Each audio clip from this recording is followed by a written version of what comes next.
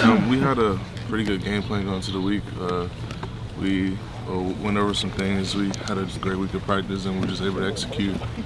And how much was, I mean, you're a, an experienced guy, kind of, but not a young guy, but some of the young guys, how much development did they make? Was there something that the veterans did to kind of bring them along and make sure they were up to speed? You know, just keep improving every week. You know, we've been trying to do that, keep getting better and better. You know, Coach, Coach stays on us every day in practice about doing little things right, and it was able to show on Saturday. How much more have you worked on pass blocking in recent weeks than, say, run blocking? Uh, it's the same, you know, just but we're just trying to make sure we fix the little details in our pass blocking sets and things like that. But it, that hasn't really changed. Like we haven't focused on one more than the other. They're both key parts. You know, we we're a run first team, and then we set the run up, uh, the pass up with the run. So. Urban said he's been emphasizing pass blocking. Uh-huh. So, what in what ways, if you're still working on it equally, in what ways is the coaching staff emphasizing it? Just they're critiquing us like really hard on our techniques and things like that, and making sure we're doing the right things. Jamarco, what was the offensive line room like the week after the Penn State game? Uh, you know, we kind of dropped the ball a little bit. You know, we had a rough game, and that's not who we are. We protect the quarterback and we run the ball, and we take pride in that. And so, you know, we had to regroup and get focused and go out and get ready for that game last week and then this one this week, and we were able to do that. I mean, it seems like you guys turned a corner very, very quickly. There wasn't, you know, there weren't any growing pains in that. I guess how does that happen? You know, it wasn't so much as it was small things that we were doing wrong that were fixable. And I mean, we still have mistakes, so we still fix like every week. We still see stuff in film that we need to correct, but it wasn't like major things that was wrong. It was just small things, and it all came out at one point, which you don't want that to happen, but it did. And it's kind of a good thing that it happened because it came out early, better early than later in the season, and so we were able to correct those things. Can you give an example of one of those little things? Um, you know, just footwork on pass pro. Footwork is really important. So that was one of the big things that week. Jamarco, when a game like that happens, I think people just sort of naturally like look at the tackles because you guys are kind of on an island out there. I'm just wondering, it's your first season as a starter. It's the first time you've maybe kind of felt the heat in that way. I'm just wondering what it was like for you to, to go through that personally. Um, you know, it's part of the game. Uh, like you said, playing tackle, you're on an island, and you have to be able to protect that island in a way. But uh, it wasn't. It's, it's, just a part of the game. You you can't you know dwell on it. You gotta learn from it and move forward.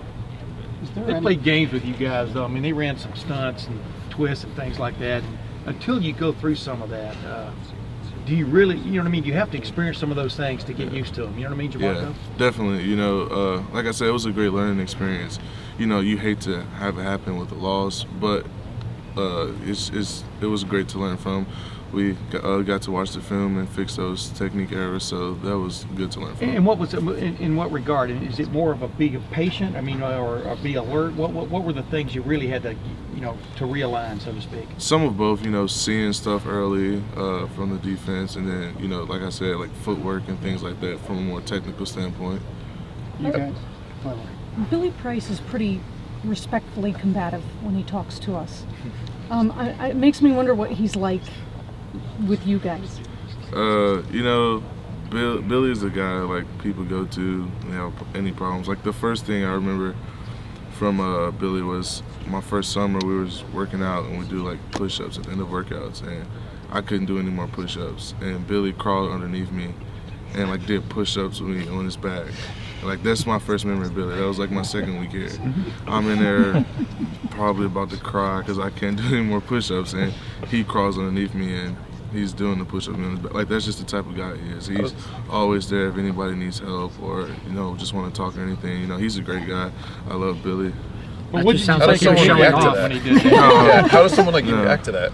I mean, it just shows like the brotherhood we have. You know, he didn't know me really. It was my like I said, it was my second week here, and I didn't really know him. But like for him to do that, like to see me struggling and to care and to try to help me out when I was really struggling, that was just uh, it showed me like what type of people were here, you know. And so it was just a great feeling to know that somebody who I didn't really know that well had my back like that. We've been told Billy's the strongest guy on the team. Is there even a close second? No. Who, who, uh, would, who, would, be second? Davon probably. Devon's a strong dude, but yeah, Billy's definitely the strongest. Jamarco, after a game like Saturday night, as an offensive line, how do you guys go back and assess like kind of where things are? You know, you guys got a lot, took a lot of heat Penn State game and all that, and then you threw for almost 300 yards and four touchdowns on Saturday. You know, each game you still have things you can correct. Like there's no such thing as a perfect game. And Coach Stud, you know, as soon as we walked in the meeting uh, yesterday, he was screaming at us about stuff we was messing up. So it's always stuff to fix. There's no such thing as a perfect game. So uh, we're gonna.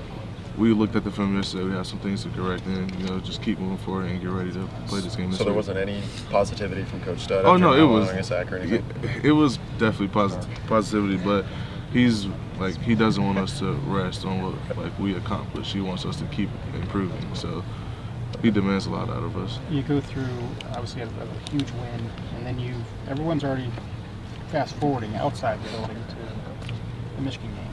How do you guys make sure that that does not happen with you guys? That you focus on Maryland, then you focus on Michigan State. You know, uh, Coach Meyer does a really good job of making sure we focus on each opponent. You know, and so we can't look past anybody.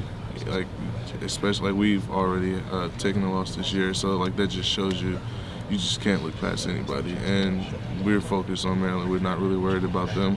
When that game comes, that game will come. But we have to take care of what we need to take care of before we get there.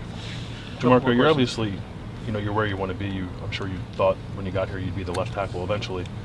How long did it take you to get settled in? I mean, and you know you had the Penn State game, but were you feeling pretty good about yourself before that, and, and thought you were getting grips at things, or is it still something you're still trying to get a grasp of even now? Um, I I feel like I have a pretty good grasp. You know, the Penn State game, like I said, it wasn't too much fun, but uh, like I felt last year I was prepared, and so like I prepared every game last year because I never knew if my number would need to be called, and it never did. But I felt like I was always ready last year, and so that helped me a lot this year. You know, and it is my first year starting, but like the coaches rely on me because I am kind of an older guy, like, and I know like the playbook and things like that really well to be able to be on my stuff. Have you been a Cubs fan? Have you been a Cubs fan all of your life? Uh, I was a Sox fan when I was younger. Front runner kind of guy? No, no. no. You just went on record, man, with that. He knows No. I'm joking. Uh, my favorite player was Magglio Ordonez growing up, and then they traded a bunch of the guys, and I switched over to the Cubs, and I was like nine or ten. And how tough was it in the last week to be a Cubs fan? And here we're obviously Urban Meyer's a Cleveland Indians fan. Oh yeah. Oh man, my house.